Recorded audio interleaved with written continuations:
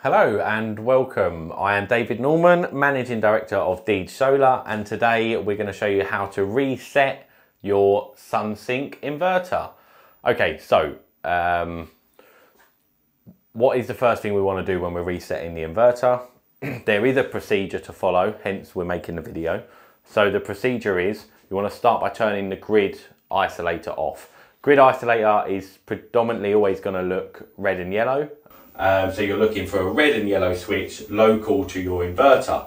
You might have two because we've got backup, we've got an EPS isolator and a grid isolator. It should be labelled by your installer, but typically speaking, um, you'll have the one grid isolator or otherwise known as AC isolator and you just want to turn that off.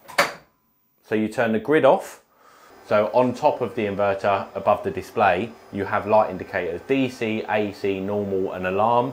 DC, AC and normal will be uh, green indicators and alarm will be red.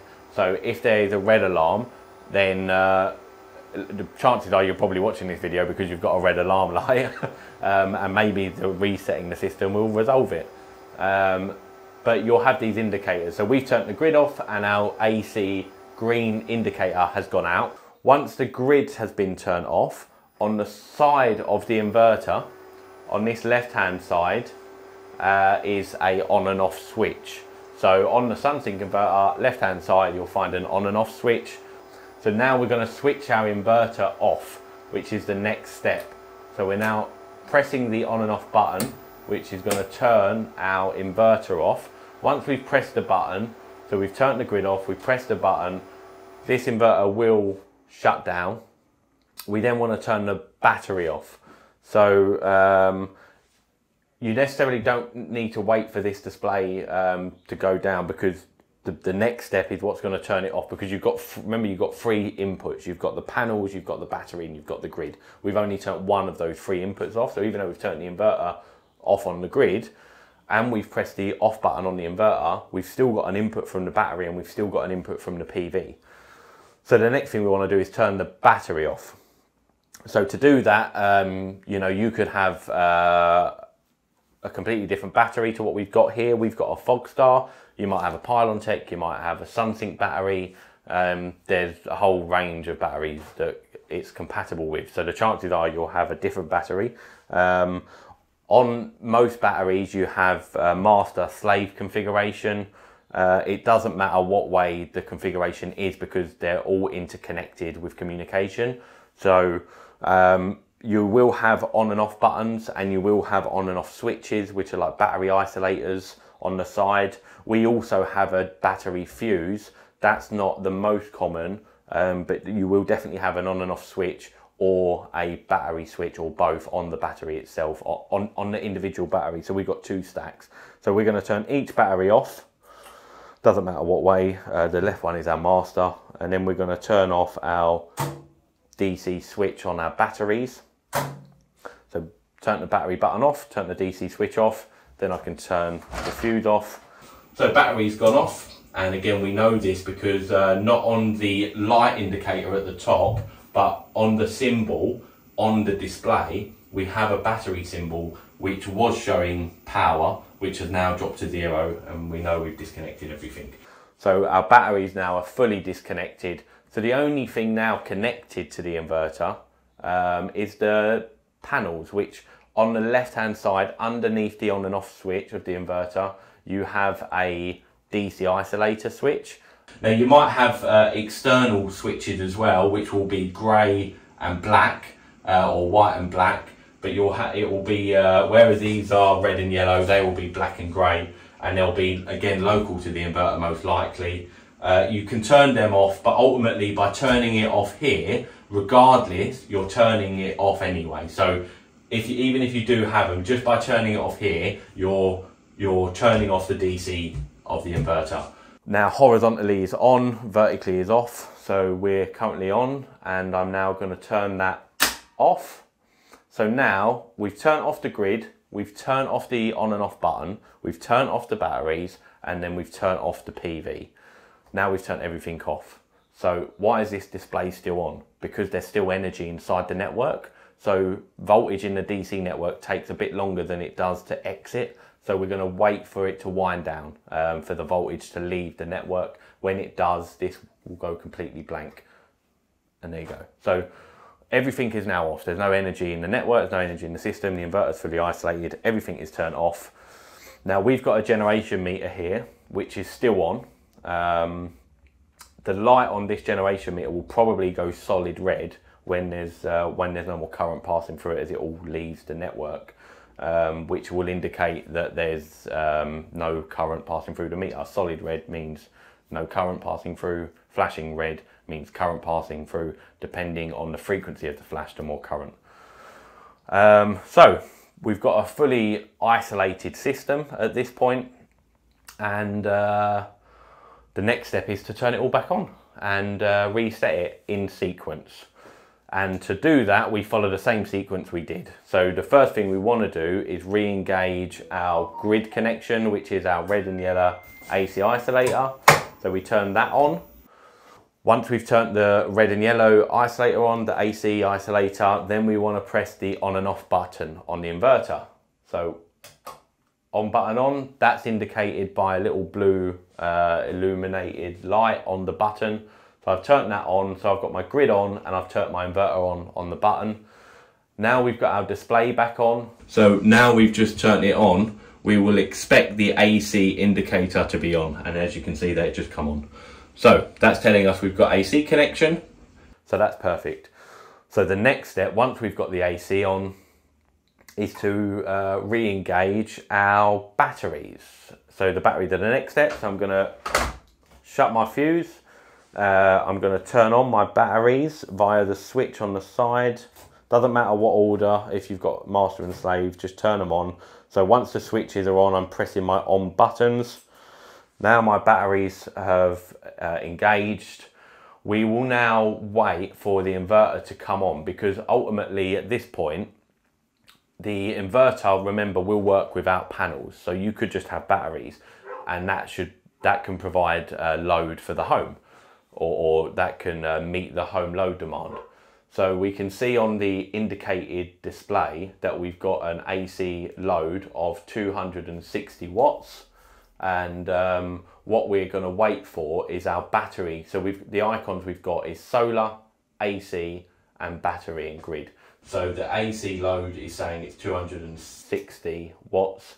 Our battery is zero because it's not turned on yet. Even though we've turned them on, We've only got standby lights showing on the battery and remember it'll be different on different batteries. But you'll know by hearing the inverter because what happens is it, the batteries and the inverter are now talking to each other. The inverter's saying, the battery's saying, please let me in, I want to come in. And the inverter's saying, well, wait, let me check and make sure it's safe to allow you in. And what it's doing is self-test. When you introduce DC into a Sunsynk converter, it normally takes about five minutes to engage it um, whilst it does its self-checks internally. So don't be alarmed like we have, we've just turned it on. The inverter is basically a machine, it's a mini computer and it's doing those tests internally to say, yes, the circuit's okay, it's safe, I'm gonna turn on. And when it does, you'll hear the relays clicking and the inverter will set. And then once we see that and hear that, this battery uh, symbol will go up and it will match the load that we see on the display because ultimately the battery should be covering the load. We've got enough storage in our battery to cover the load. Obviously, that won't happen if you haven't got storage in your battery. If your batteries are flat, then you won't see that. And if your batteries are flat, you'll know by on your batteries, you'll have an indicated light. And if that light isn't showing you uh, storage, then you'll have to bypass the waiting because it's never going to meet the load. So just move on to the next step. On here, we've got fully charged batteries, so we can we can uh, we can wait and we can prove that the battery is working. And then once we have that proof, we'll move on to turning the DCI isolator on, which should be any minute now. Um, we should see uh, my batteries have just turned on, so I know that they're close, and I can hear the clicking.